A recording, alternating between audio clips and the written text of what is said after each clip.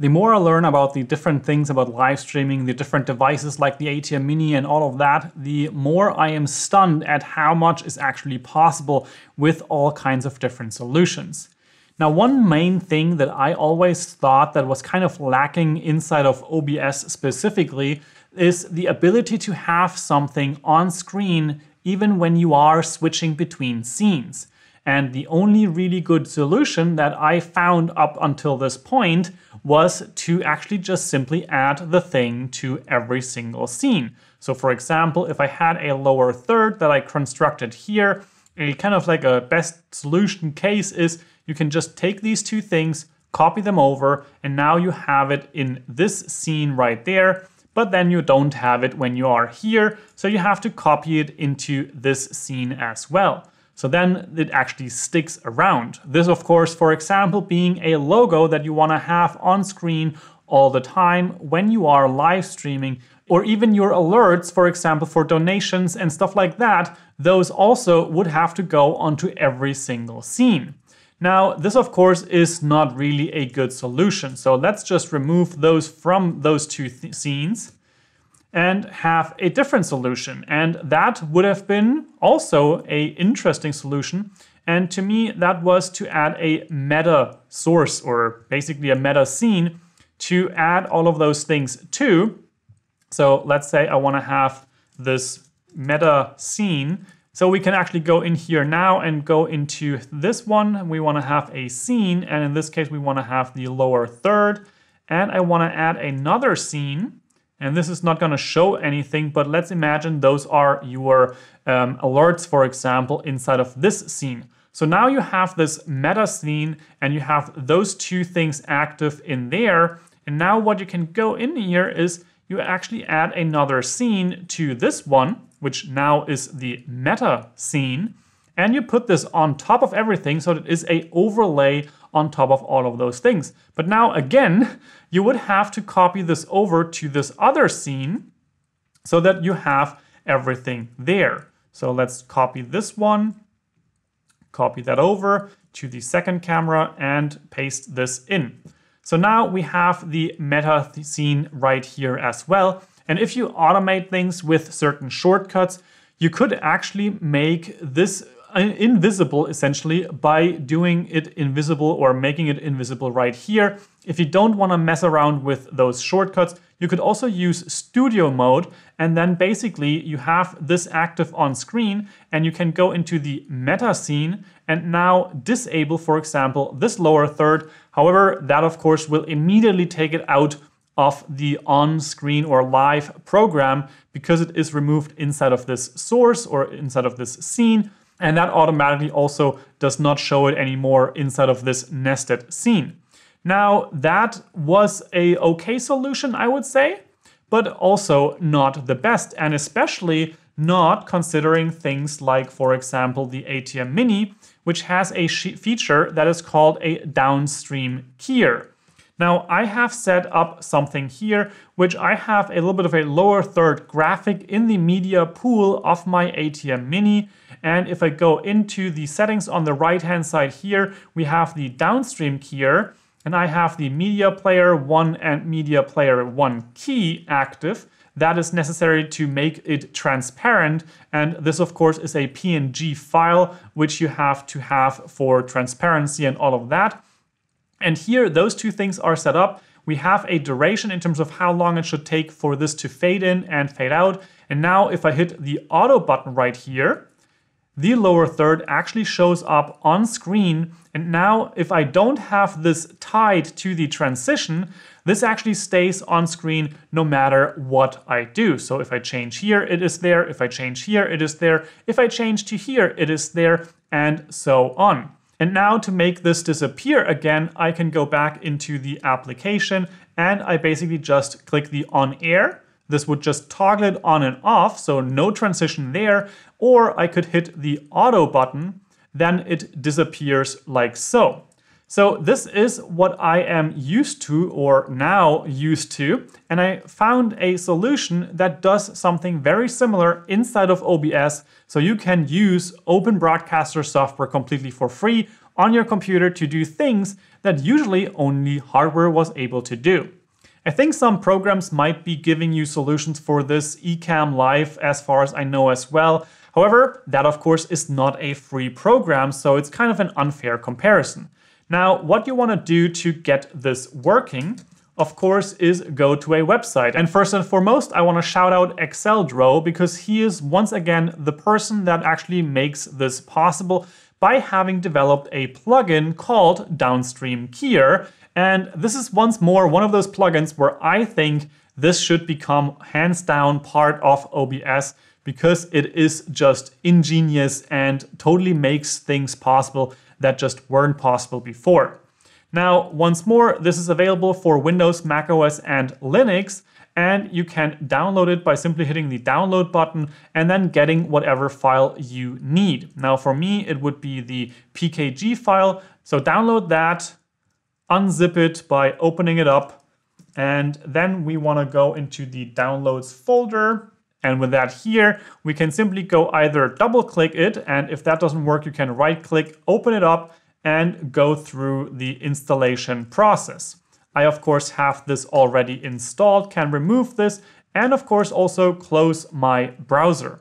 Now with this plugin installed, you might not notice anything different at the start, and that is because you actually have to activate the dock first. Now I have my usual setup locked, so now I have to unlock it by right clicking or control clicking into the area or any area that is like this header of one of those docks. And then we have the downstream keyer available right here. And I can now activate this and have this right here. And then I can lock my other things again. Now, what we have here, and usually this would be empty because nothing is set up, is a one downstream keyer. And you actually have the ability to have multiple downstream keyers with this plugin, which makes it even more powerful. So now what we want to do to have something available on all of the scenes is first and foremost remove our meta scene right here from these scenes. So now we have this no more. We can also remove the complete scene for the whole meta thing. And now to add a scene to the downstream keyer, we have to open the scene up and with that click the plus icon. And now this is basically linked to this downstream keyer. And now I can go in here and be on my main scene. And then I can actually say what part of this downstream keyer do I want to enable. And let's say I want to have the lower third. I can simply just click the lower third like so. And now this actually shows up on the screen. And I can switch to another scene and see it's still there. And that is because this is essentially applied after the whole scene is rendered. So you have the scene that you're on, which is rendered, and then on top of that, you have the downstream keyer, and that is how this is essentially also done. Now, if you want to get something off of the screen, you would then go in here and select the part because you apparently cannot unselect something. You actually have to pause this here, and so it actually is removed. Another thing here is you can actually change the transition. So you have different transitions available depending on what kind of transitions you have set up in your system. I have cut and fade. So if I make it a cut and I click on this, then it is a cut. Now, if I change this to fade, then I want to pause this, it fades out in 300 milliseconds. Now, once more, you can do this with multiple things. So let's say I have another scene, which let's call this meta logo.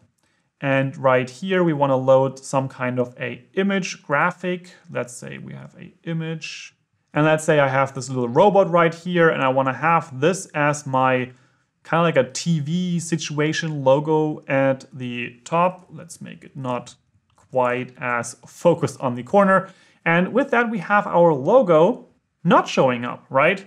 Because it is not set up as a downstream keyer. Now, if I select the, so, uh, the scene add this to the downstream keyer 1, and now I go in here and activate one of these sources, the logo appears when I select it, and the lower third appears when I select it. And as you see, this actually switches between these two as you change between the different things that this downstream keyer is. So right now, this is basically just overlaying one of these on top of this thing. Now, however, what if we want to have the logo on screen all the time, no questions asked? And that, of course, can be done by adding another downstream keyer. So we can go onto the gear icon right there, click the Add button, and let's call this DSK2.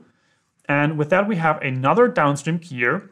Switch to our scene that we want to have inside of this downstream keyer, add it with the plus icon, and now we can actually remove it from here. So now we have this lower third showing up, and we have the logo because we are still on the meta logo scene. But if I switch back to the main scene, now we have the lower third active, and I can pause this by doing the pause button on this downstream keyer and switch to the second downstream keyer and click the logo, and now that is overlaid on top of those things.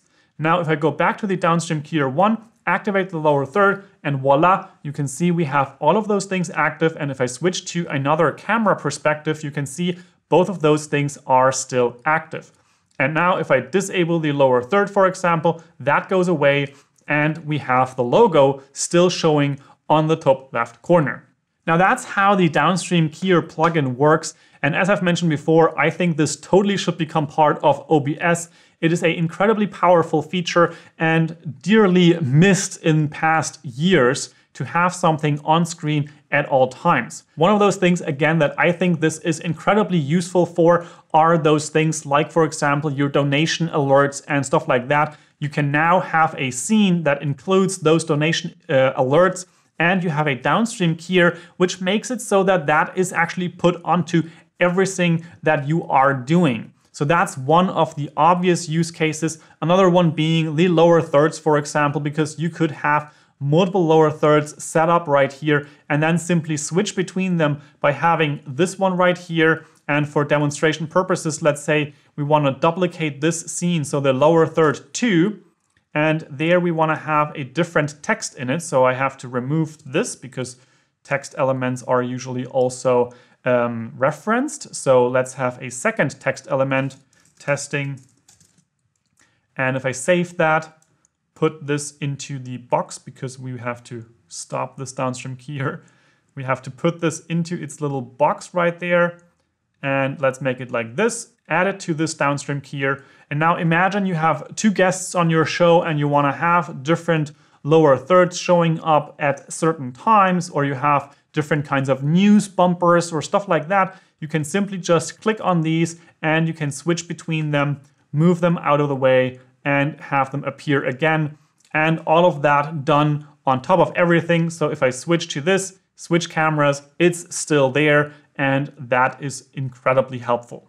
Now you can of course also have hotkeys attached to these, but that's not something I'm gonna talk about in this video. You can, however, have that to switch between things, disable downstream keyers and all of that. So that's also a possibility. Now, if you want to change the text inside of a lower third that is currently off screen, because if it's on screen, it is going to be changed immediately, you then would have to change to studio mode, change to your meta scene essentially that includes that lower third. So right now we are showing the testing one. If I now go in the lower third one, which is currently not on screen, and I, for example, change this text to lower third, and now actually want to enable this on the screen and then the text is actually accurately displayed right there.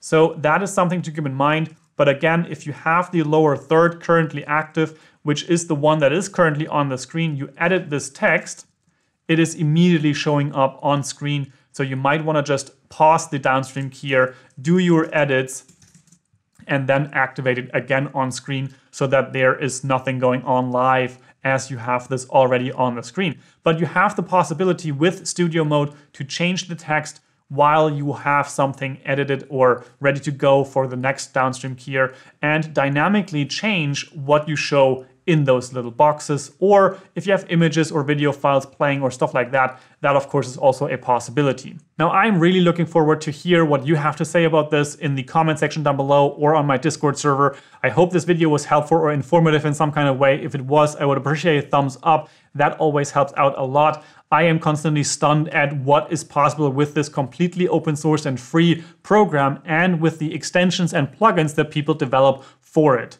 And with that, you might find more videos interesting that are going to be linked here at the end of the video. And with all that said, I hope you have an amazing day, make it your life and your streams better with a downstream keyer, and I will see you in the next video. Ciao, ciao!